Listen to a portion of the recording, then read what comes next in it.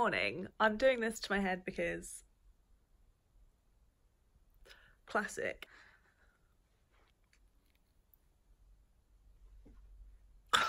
Oh, good morning. Um, I hope everyone is having an okay day. It's a terrible day actually. It's raining again. Classic. It's just rained the whole time that I've been home, which is fantastic, but it's fine. Um, so the half marathon was yesterday um, and it actually went really well. I really enjoyed the run itself. I really enjoyed the route this time. Uh, they just added a couple more like um, weaving parts, I guess, um, which sort of broke up the run a lot better. Um, I don't know why I've done it at this angle, to be honest, but that's what we're gonna have to do. Um, yeah, so it was a lot better run. I'd say that I felt the most comfortable running it, but I didn't get the time that I wanted, but the winds were like crazy. Um, and I think had I have started in a different pen, it might have been a bit different just because like the congestion of people in that in the one that I was in was a lot. So I didn't break out until like the sixth mile really and get my like proper pace. Regardless it was a good day. But I actually wanted to film because I was supposed to film when I was uh, down and I have not done that um, which is really good. Um, I wanted to sort of actually it'll be quite interesting to sort of answer the most like sort of frequently asked questions in regards to like anorexia and like um, that specific eating disorder.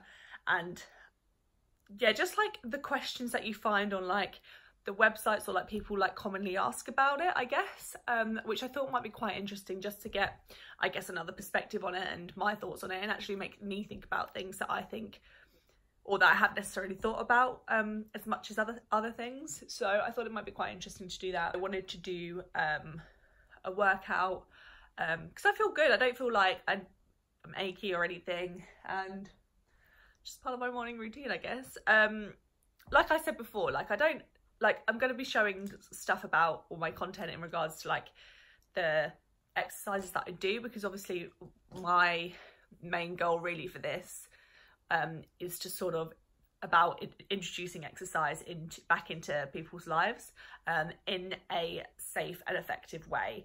Um, and so for me, yes, obviously showing that content's important in terms of what I do in the gym because I guess it gives that perspective on not having to, I guess, because I don't really, I get ideas from other people in terms of like specific exercises and stuff, which helps. But like the way I train, I just sort of train for me. If I want to go lift weights, I'll go lift weights. If I want to do a HIIT workout, I'll do that. And it's just sort of the variety thing. And that's sort of why I wanted to also film like doing other activities because I feel like everybody's opinion on exercise, I guess we have a general um, opinion or relation to what it means. Um, and what kind of defines exercise, I suppose. But I think it's just showing, I guess, the variety out there and you don't have to conform to what you're being shown all the time. Like, yes, obviously it's, it's good in a way, but also like finding something that you really enjoy because it's a lifestyle change.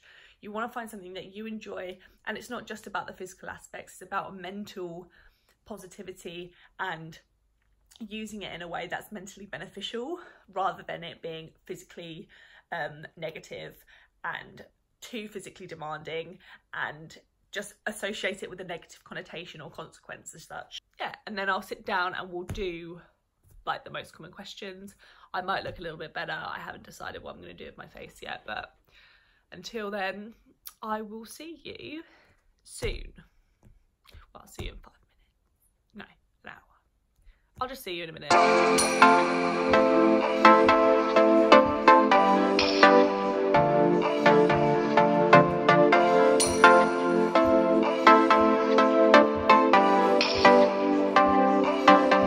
So your tears been running like a waterfall Thought the stars would never let you down. And you keep on thinking you could save yourself But that's love, that's just love. You should know some things will hurt And you'll end up getting burned. I just hope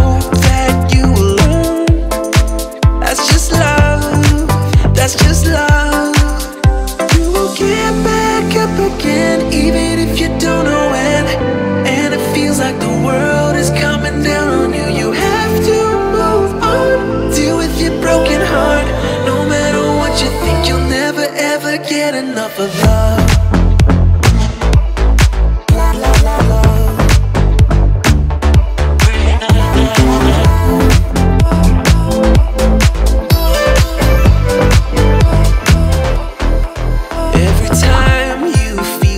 are closing in And it seems like nothing makes it better You should try to remember that's just how it is When it comes to love, comes to love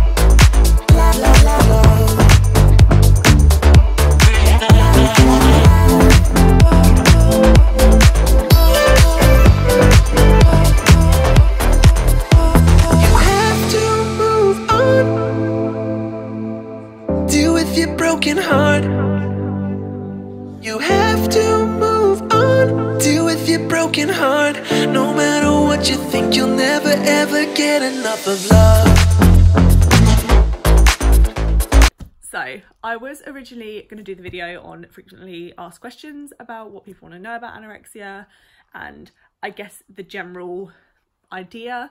Um, but I actually, since like researching it a little bit, I actually come across or came across rather, um, actually in terms of from our, well, I say our perspective, but from people who have suffered from anorexia and what they actually it's called seven things people with anorexia want you to know. And i think it's just important to sort of highlight what it is and actually what it it really is about because i feel like there's this massive perception on the physical aspect when you know it's it's to do with a multiple of things. So it just sort of brushes the surface in terms of what people know. And i think until it's true in the sense of until you really experience it you don't get the full understanding of it um which obviously i'm not wishing anyone to go through it at all but it's like with anything like until you've gone through an experience it's really hard to sort of see that side of things um at least to to its full extent anyway. But yeah so i thought i'd probably start with this first and then i can sort of get into that sort of side of things. This was just going on about like so i'll read you the questions sorry not the questions but the statements um and i'll sort of just uh, elaborate on them a little bit which i thought um which might be quite a good idea. I've ruined it already. Um so yeah i mean immediately just starting like how many people it affects. So in the uk alone it's well over a million people that are living with uh, anorexia um, or an eating disorder. And it's actually anorexia itself is has the highest mortality rate of any mental health illness which is huge. And for it to be such a huge and the you know the primary cause of death for a mental illness. And yet the mental side of it i guess isn't really seen as much. Um i definitely feel that the physical well it's a physical you can see the physical components happening with anorexia. So like we said extreme weight loss um and things like that.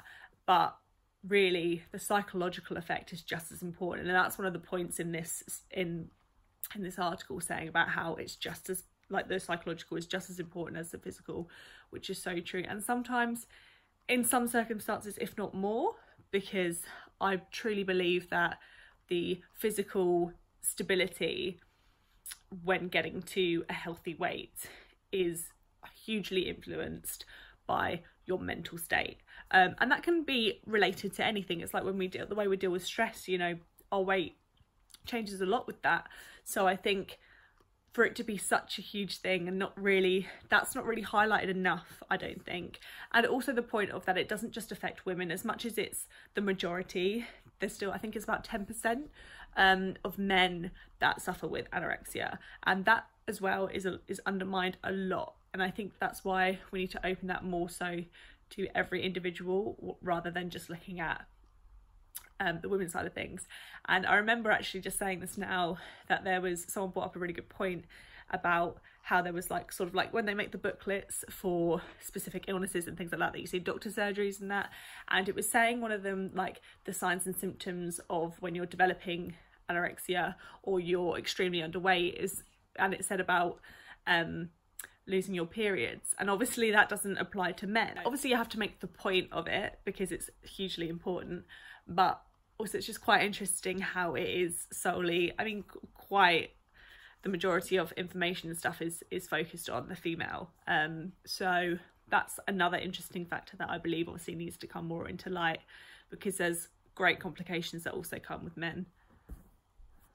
Sorry there's also great complications that come with men. So that's something to address. So i believe the first point i have my laptop i'm so sorry so this is why i'm doing this so yeah. So the first point was saying that anorexia isn't just about being thin and this sort of where it ties into the fact of the psychological aspects um, and you know in what they do and how they measure your weight and things so looking at bmi and things it's it's a combined there's there's like a combination of things that make up um, anorexia and what it what it i guess represents. Um, and it's interesting as well because I remember when I first was sort of well, when my mum first took me to the doctors with concerns, I really wasn't looked at as like a a cause for concern um, because my BMI personally didn't or wasn't low enough to be I guess to be defined as anorexia or having a problem in terms of um, developing my eating disorder um, which is a huge problem when you look at it in the long run because again it's just looking at the physical aspect and what the numbers tell you. The numbers indicate you're not you're not skinny enough so that's so there's nothing that we can do for you. And that in itself is a huge triggering point especially for people with anorexia because you sort of see that as like a win in a way but also a bad thing too because you think yes so like i'm not getting this attention on me in terms of like getting help. But it's bad in the fact that you see yourself now as bigger and that encourages you to lose weight. So it's sort of like a lose-lose battle. So with that as as the uh, as my future was that I developed my eating disorder my anorexia and it wasn't really nipped in the bud. It was again more looking at the physical aspects. And that's such a huge huge problem or concern for mine because there was another I, I mentioned it before in a story about there was a program on I think it was I want to say channel 4 I can't remember now but it was looking at different mental health illnesses and it was saying how primarily they treat the physical aspect before the psychological and like I've said like to sustain a weight um, and maintain that throughout your life um, or being more control in that sense that comes with the psychological. If that's not treated then there is the next point that they um, talk about which actually is super important and i think actually affects a lot of aspects in life and especially as you sort of do come into recovery um, i know that i've experienced it and i think it's really affected how i how i am today is the fact of like um, how it can take its toll on your social life. Like I'd never go out or I'd cancel plans.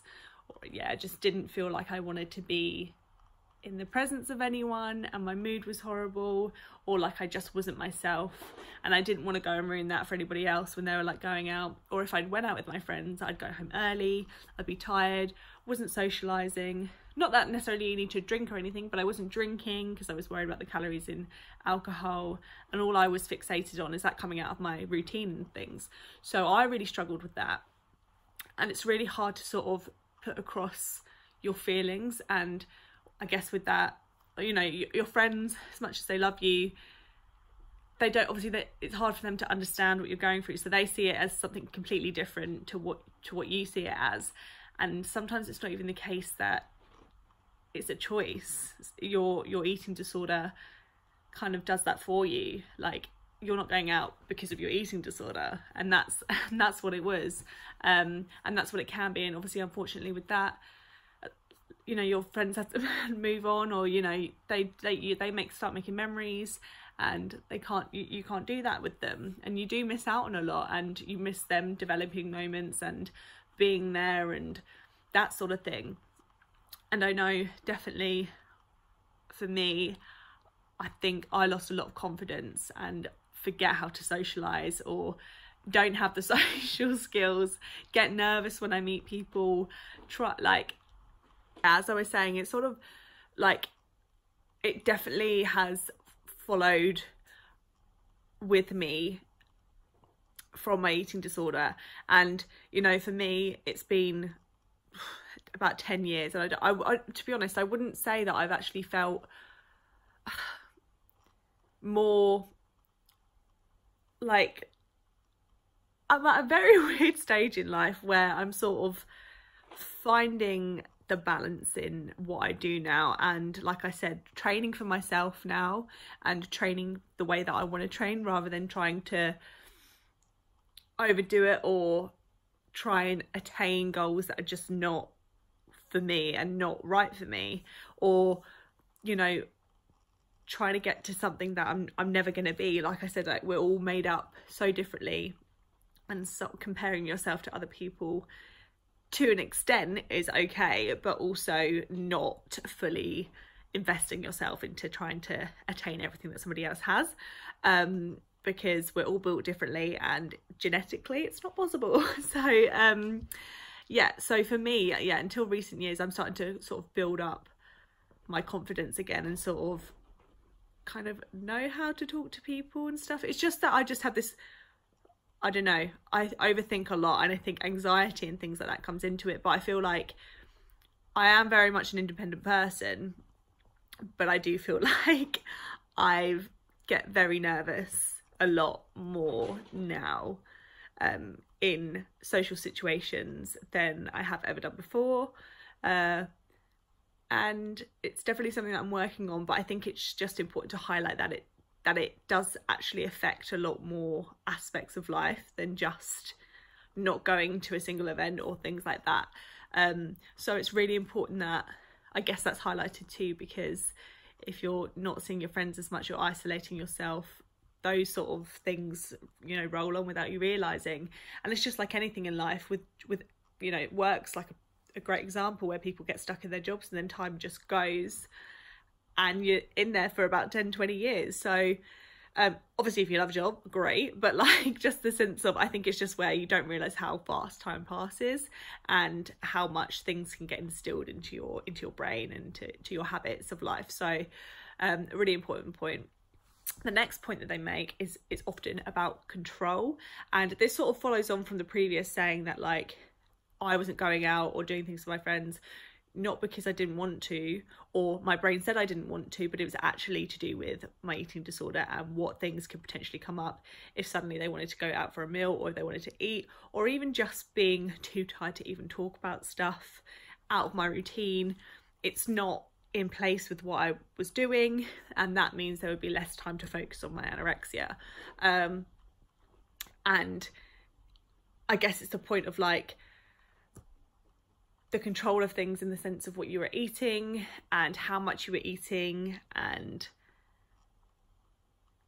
kind of comparing that to other people um, and everyone's needs are so different and but the way your brain works is that that is your set amount and that is what you have you take control of what you eat. Therefore you can say how much you have and like a physical activities look at how much you do and that is what you're going to do. And not being able to break out of that as much as you think it's in your control it's so much out of your control that you can't change anything. Like as much as you know there is this very regiment scheme. Like i said i had a, I had a routine from waking up to closing my eyes in the evening and it was the same thing day in day out. No spontaneousness at all was necessary was was accepted or, or necessary um, and you felt like you were in control because you were doing all of these things and getting them done but i was so out of control. Like so it wasn't me controlling what i was doing. It was the eating disorder. My life was fitting in my eating disorder. It wasn't it was all about that. There was nothing it, everything compensated for that. Relationships friendships my own self happiness, everything, everything was compensated for that, and all to get the things that my eating disorder wanted me to do, um, which is terrifying when you think about it in the aspects because it, it would be I could do well I self punishment was doing more of the bad things and a vicious vicious cycle and the next point where they lead into is to talking about like I've I've spoken about this already about the psychological being just as important as the physical, uh, just as important as the physical. Sorry, and um, there was a woman on here and she was saying how um about when she went into hospital treatment and I have I made a video about my experience um in a previous video and it was quite interesting to to actually see that other people sort of had the same experience in the sense of looking at the physical aspects rather than psychological. They were saying as much as my um as much as they might have changed and their behaviours might have changed during their hospital stay, coming out of treatment, everything was pretty much the same afterwards in terms of like their psychological state and going back to their old habits. And this is such a key point that really needs to be addressed when we're looking into treatment and what we're actually looking into and whether we're even looking into the right things. Because for me, even like psychological aspects are touched upon, I feel like the fact is what they focus on from the psycho- psychological side of things may need to be sort of altered or changed. I feel like it's not really diving into what is actually necessarily the key issues. Like for me, I couldn't tell you a specific thing that made me develop an eating disorder. It's definitely not a choice. Um, definitely not a choice. And you know, there's a lot of research to set to look into the biological side of things and the genetic stuff. Um, what actually causes the development for anorexia. Um, but in the sense of what I mean by the psychological, is that you don't always need to. I think the problem is that we always try and find the cause, and sometimes finding the cause is less effective than just trying to find things to make it better because like I said for me I couldn't I couldn't I still couldn't tell you to this day what sort of made me develop my eating disorder. You know, they say people who are more physically active are more likely to develop an eating disorder because of the um, activity level that they do, but it's so different. Every case is different, and I feel like there are cases where you don't know what the answer is, and there's no point in trying to find it for so long that you forget about healing. You are so fixated on finding an answer that you may not even ever find. And I think it's so important, I guess, to highlight that and to sort of look at the bigger picture and say, right, let's find a way to help in a different way, um, both phys- phys- both physically and psychologically. And yet, the, the, the main point is that yes, you have to help the physical aspects because of things such as organ failure and the internal um, damage that you're causing. But like I said, if the mental's not fixed either, that's not going to be sustainable and that's not really going to be healing the process. Let me reiterate what it said earlier about the mortality rate. The biggest mental, the mental illness, the with the highest mortality rate. So, need I say more about that situation? Um, and uh, another important thing to say that they've said is that it's not a phase or a diet, it's not a choice.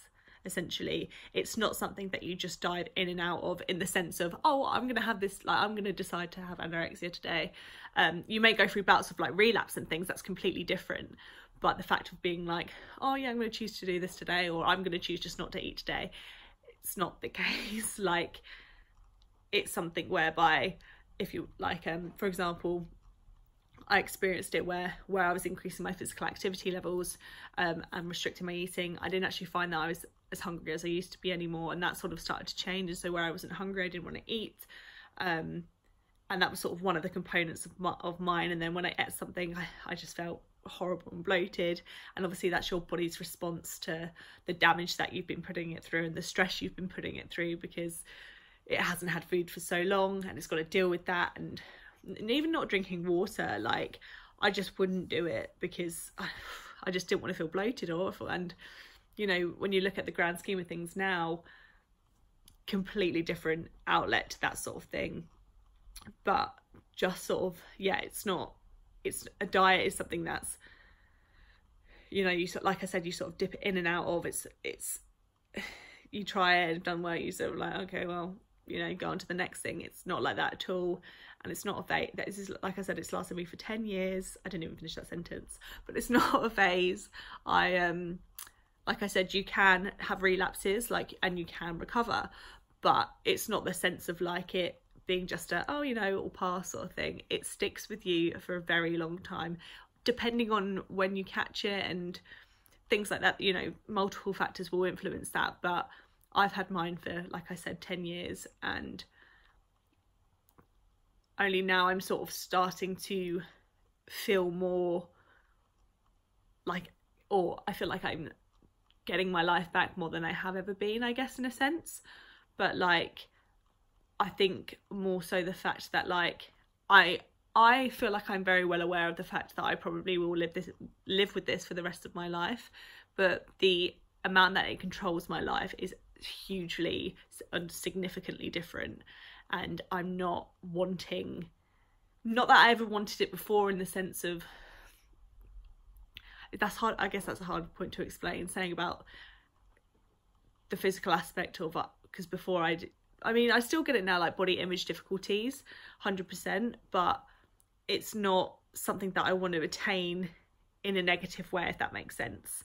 Um so I wouldn't I wouldn't like looking back at old photos of how I used to look I'd never want to go back to being that way um and just knowing how I felt then too um but it's something that I will always have with me but the way I am now and the way that I want to live and my aspirations and my motivation to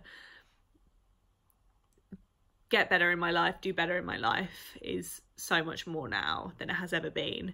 So I think that's sort of the important thing to highlight here is that it's not something that you just decide to have one day and that's what you're going to do. It is something that just develops and unfortunately doesn't always end in the best way. Um, but the important thing is is that you live your life happier more than 50% of the time or more so than being unhappy. Um, or you know just feeling better. But it's so difficult to sort of say that I guess because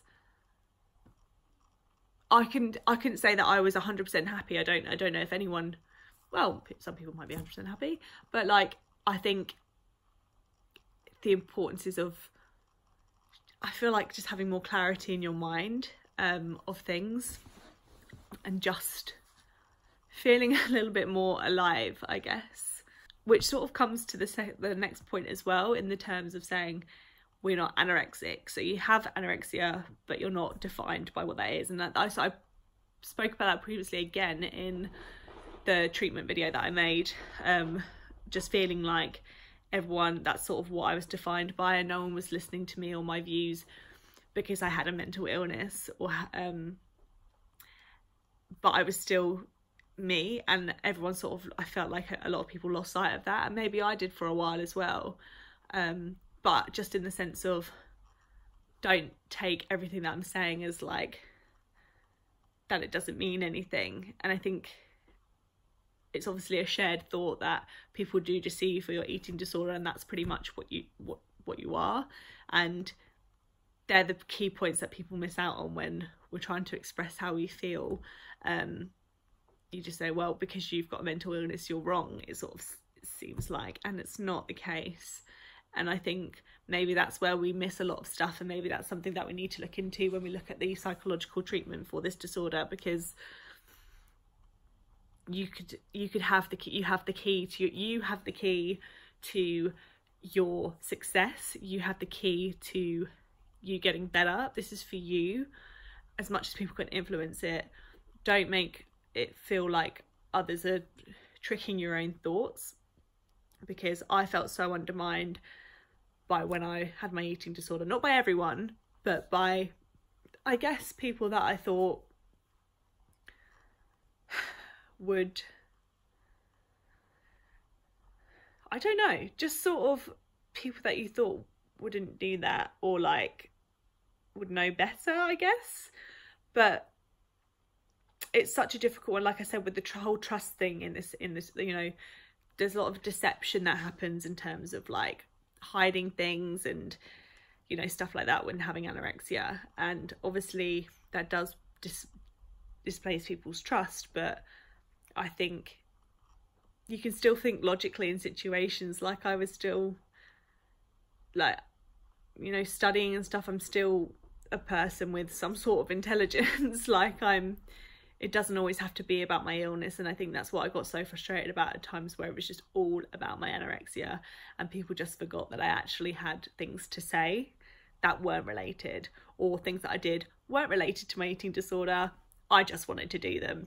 It's like saying oh well i'm gonna go it's like i get it now. So this is a this is a great example in terms of i guess how how much it follows and how much it sticks in people's minds. It's like yeah, so like I'd I'd go for like um I'd be like, oh, I just want to go for a walk or I'm going to go for a run, and you can just see people's minds ticking, being like, why is she going for a run? Is she is she all right? Like, it's great to have people that love and care about you and support you and are concerned in that way, but not everything has to be associated with the anorexia.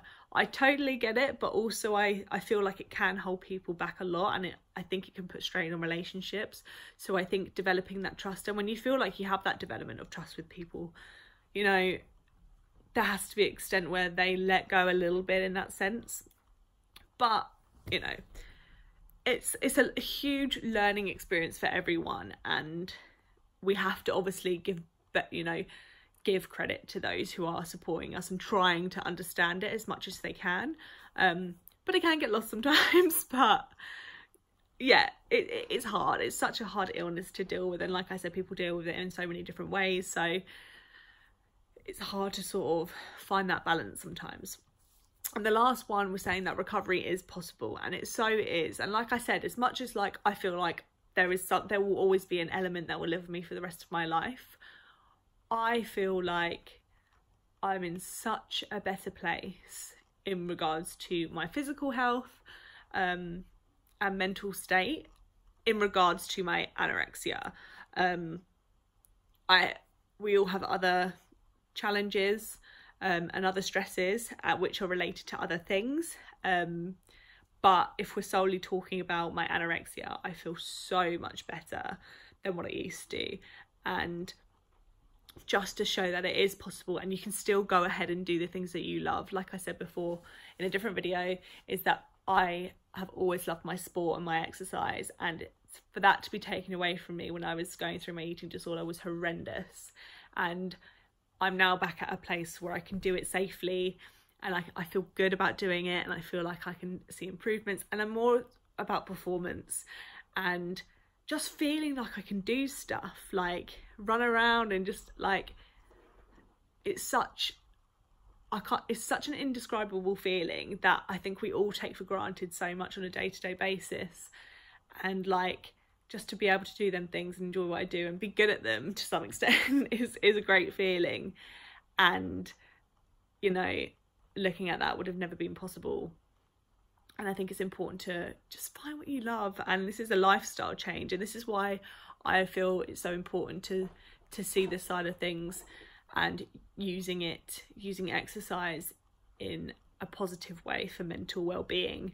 And you know helping those at the other end of the spectrum and getting them back into what they love. It doesn't have to be exercise, but to use it in an effective way, and then you can go out and do whatever you love. And I think that's so important, especially in this day and age where everyone is so stressed and not necessarily in jobs that they want to be in or not doing things that they want to do. And I think you have to have that moment for yourself just to be happy or just to feel like you're doing something that you want to do and that'll get you through life a little bit more. So that's the situation. It was a very long video, I'm sorry. I think all of my videos are going to be long, but I hope you enjoyed it and I will get around to doing that other video in regards to the frequently asked questions. It would actually be great if you could leave um, any questions that you have in the comments below and that would really actually add to that video and see what other um, what other areas we can sort of cover so that'd be really good um, but yeah i really hope you enjoyed if you have please give it a thumbs up because it really supports the cause and what we're trying to achieve and yeah i will see you in another video thank you for watching and have a lovely day. Bye.